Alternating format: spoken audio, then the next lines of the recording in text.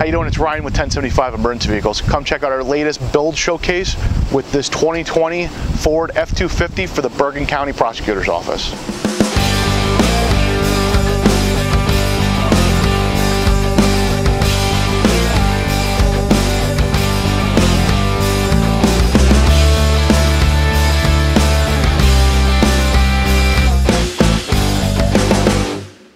How you doing? It's Ryan with 1075 Emergency Vehicles. What we're going over today is this 2020 Ford F-250 for the Bergen County Prosecutor's Office. This is going to be their new fatal accident investigation truck. So we've put a lot of work into this truck, so we're going to try and showcase everything for you and go over all the details that we tied into this vehicle to help make it more functional. Taking a look up top first, we have a 54-inch SoundOff Signal M-Power in dual color. We've uh, installed a headlight flasher on the vehicle, which is currently in park, and that automatically turns on and off when the vehicle is put in park through the blueprint uh, control system with the OBD2 reader that doesn't require any splicing into the vehicle. And then what we've also done is we replaced the high beams and low beams with LED headlights. So that way the headlight flasher is actually flashing that LED, giving them more warning power. And it's also increasing their visibility when they're driving at night. In the grill, we've got four inch SoundOff Signal M-Powers that are in tricolor. So they're flashing red and blue and they have the white scene override function. So taking a look at the side of the vehicle, you can see the graphics package that we installed on the vehicle to match their existing fleet. Uh, on the front fender, we've got the SoundOff Signal 4-inch M-Power in tricolor with the white override scene function. On the running board, we have SoundOff Signal 3-inch M-Powers in tricolor. On the top of the cap, we have SoundOff Signal 4-inch M-Powers. What we've done is we've installed the wedge to help direct the light horizontally out. And then on the back, we also have a SoundOff Signal 4-inch M-Power in tricolor. On the rear side, we have a Blue Seas shoreline. So this ties into the inverter system that they have on the vehicle. So if the vehicle's parked, they can plug it in. It'll energize the 110 volt outlets in the vehicle and it'll also charge the battery. So if it's gonna sit for a long period of time. And we also did the cap on the vehicle. So the cap is a uh, ARE style fiberglass cap. So both sides have ARE side doors with toolboxes in the side of it to give them uh, quick, easy storage access. Um, so what we've done is we've installed pin switches on all the doors. What this allows us to do is to tie this into the blueprint system. It then gives us control over the strip lights that we installed here. And then it also gives us the ability to integrate a compartment open door light. Right now we have a three quarter inch technique light installed in the overhead console. Uh, that light is set to flash now.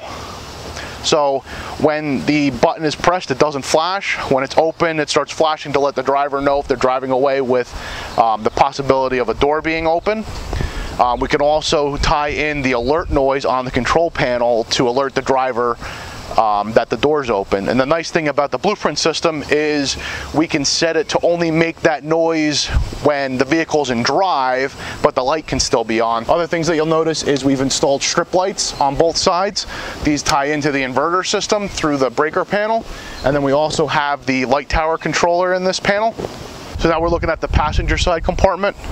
Uh, open shelving, toolbox compartment, another 110 volt strip compartment. Uh, we have our LED strip lighting installed with our pin switch tied in with all the other ones and they all turn on individually. So if you open this compartment, only this light turns on. If you open the rear hatch, only the rear hatch stuff turns on. So now what we're gonna do is we're gonna set up the light tower.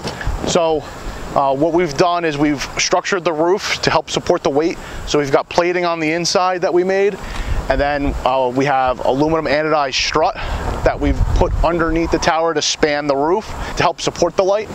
So what we have is a four lamp night scan LED 12 volt light tower. Um, on the strut what we've done is to give it a better appearance, we 45 the corners and then instead of um, just leaving it open to collect debris or not look nice, uh, we uh, manufactured end caps for it because nothing was available for it. So something like that is something that we're able to do to help kind of finish the install up and give it a nice clean appearance. So we've also done is we've tied the wiring for the night scan into the blueprint system. So now we have control over the park signal and we can write a matrix for that. So if we want the parking brake to be on and the truck to be in park, um, we can program that output to send that signal to the night scan. And then we also have the um, mast up indicator so that way they know through that same indicator in the cab if the light mast is up and if it needs to be adjusted. And all that's done through the blueprint system and allows us flexibility to program it however the customer may, may feel that that system will work best for them. So we power the light tower up, wait for it to boot up.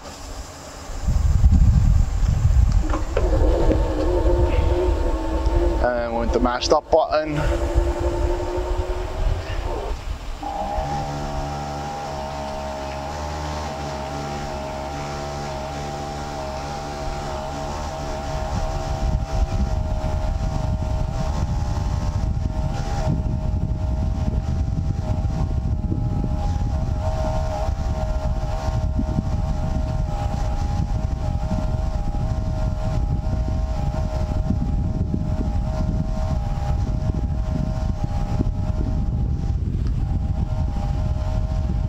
Okay, so the light tower is now fully extended. We can have the lights turn on and then we can have the mast rotate either way that we want. And then we also have the ability to tilt the lights down and up to better focus the light output from the mast onto the scene that they're working on. And then we also have the ability to do the auto stow. So a two click down will auto stow the mast into the correct position.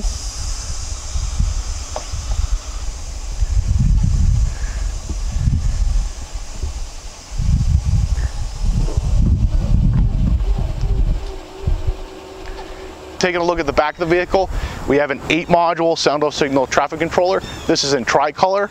So we have flashing red and blue. We have an amber arrow stick override, and then we have a white scene override. And that white scene's tied into the reverse lights. In the tail lamps, we have SoundOff Signal hideaways. On the bumper, we have four inch SoundOff Signal M powers. These also have the white override feature. With the hatch open, you can still see we have warning through the rear glass window. Uh, we have our rear illumination lights on inside the cap so it lights up the whole bed area. On the side here we fabricated an aluminum panel to house all of our electronics. So with the blueprint system we have remote nodes back here and fuse panels and then that way we have all of our electronics tied in back here so we don't have to run uh, as much wires up front to the vehicle and have more control with the vehicle and allow it to be flexible in the future. The cabinet that we designed for them was specifically for them.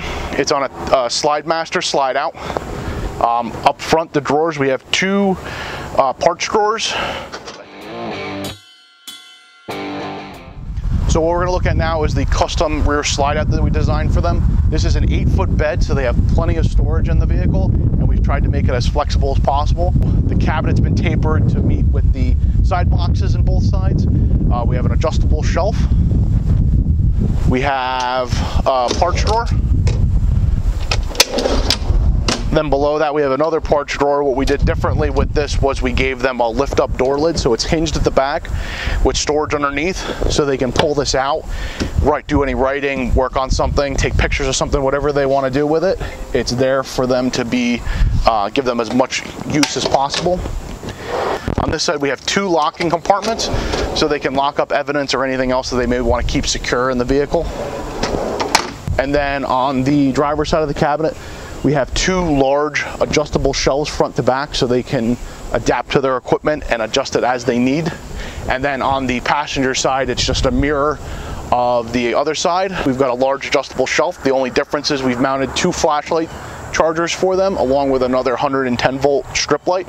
So since this vehicle is typically only operated by one, maybe two people in the vehicle at any time, uh, they've elected to remove the seat what we fabricated is a whole rear seat organizer to give them more storage room. And what we've also done is um, we've integrated our electronics into the back. So we have our inverter, blueprint controller, uh, fuse panel, stuff like that underneath here. Um, and then what we've done is we've vented the front panel to allow airflow. And then we have additional uh, covers here to get access to the electronics. Um, if this were to ever need service where it would be more in depth than just getting into these panels here, we have the ability to remove this rear seat organizer and get better access to all the electronics. So it's more of like a modular system. So you have a, a mounting base and then you have the cabinet up top. Taking a look at the passenger side of the vehicle, uh, they've got a larger open storage area. They then have a power strip mounted up top that they can plug any equipment into that they may need. You can then see we have another access panel to the electronics, and then we have another uh, removable vented panel here. And what we've done um, to give them better access to the fuse panel and whatnot, we have our uh, Blue Seas 110 volt panel. So this has uh, individual circuits for the outlets that are on the cabinet. And then we also have the shore power breaker, so if they ever want to isolate that from the rest of the vehicle, they have that ability. Taking a look at the console that we installed for this vehicle, uh, we have one of our raised lift-up armrests so they can uh, store any equipment that they may want into here. Uh, we've got cup holders, we've got a three inch storage pocket for pens, eyeglasses, anything like that. We've got our blueprint control panel. We've installed their radio, and then we have our uh, Xantrex inverter control, so the ability to turn it off and see the diagnostics that they may have with that. This is a Kussmaul uh, pass through that goes back into the factory sink. So we've plugged in the headphone jack and the Blue Seas into the factory outlet so they still have control over the radio. Uh, up top, we've installed a SoundOff Signal dual color dome light with red white. And then you'll see that we have our door open indicator. So what we've gone ahead and done is we've opened one of the compartments. The light's now flashing to alert the operator that there is an open compartment. The door closed, the light is off. So what we're gonna go over is the control panel functions that we've done with this vehicle. As you can see, our wail, yelp, and tone buttons do not work because the vehicle's in park. As soon as the vehicle comes out of park, uh, they then have those buttons. Takedown function. We have our left alley function. So a couple things that we've built in for safety features. So if somebody's following the vehicle, we have the left turn signal shut off built in. Gives them more scene lighting to the rear.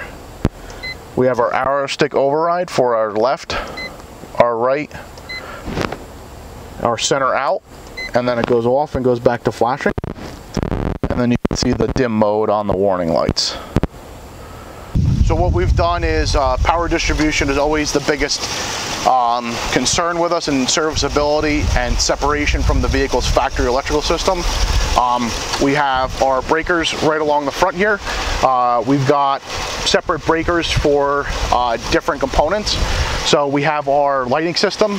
So what that does is that comes off that breaker, goes underneath the rear seat, and then gets distributed out from there. We have a separate feed dedicated just for our light tower to make sure that the light tower has plenty of power in order to operate and provide maximum light output. And then we have our inverter charger breaker. So what happens is, is the inverter system has its power feed that it gets power to produce 110. What that breaker also does is if you plug into the shoreline, it will also charge the vehicle's battery. So if it's gonna sit for an extended period of time, or if they, uh, they're having problems with the battery, they can use it to charge it up and get the vehicle started until the, the battery can get replaced. On the driver's side fender here, uh, what we've done is we've taken out the uh, coolant reservoir and then we fabricated a bracket and what we've actually done is we have our all of our components for the front. So like we always say is the blueprint system is multiplexing. Uh, we have our output nodes we have our siren amps we have our headlight flasher and then we also have fuse distribution here. So that way it minimizes how much wiring we need to run into the front.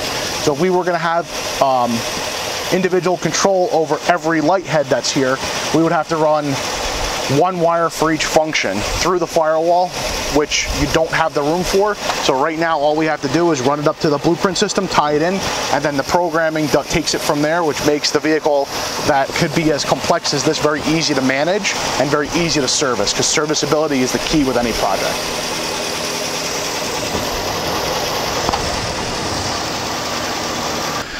Thanks for checking out our channel today. We hope you like this video. Uh, we hope you like the vehicle. Uh, we hope that the prosecutor's office enjoys the vehicle and it provides a lot of useful service to them. Uh, if you have any questions about the vehicle, shoot us a message, comment, contact us through our social media, shoot us an email. We'd love to help you out with your next project. Like, share, subscribe.